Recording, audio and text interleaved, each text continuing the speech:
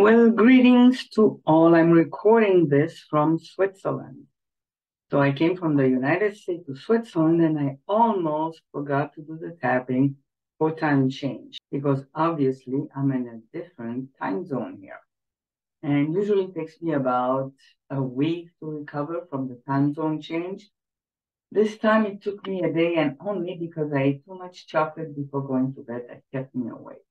But it's amazing how the tapping techniques work when you change time zones. So in theory, you should be doing it every time zone change. When I was coming from Las Vegas, there was nine hours difference. Now from Florida, it was six hours. And as I almost forgot it, I only started to do the tapping when I arrived over France. But it's pretty easy, even though I'm changing time zones, I can't completely accept myself. You can do that or just do the timing, the tapping.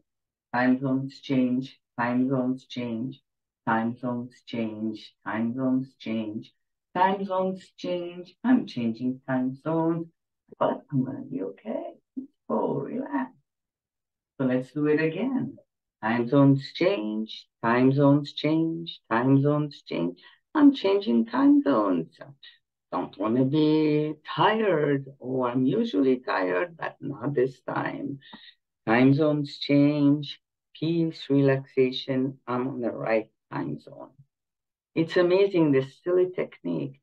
there's over 120, I believe, different type of psychotherapy, and most of them have had absolutely no research. About 10, 12 have had some research and the tapping technique is one of the techniques that has had a lot of research. And yet, most people don't use it because it looks so silly to do something like that.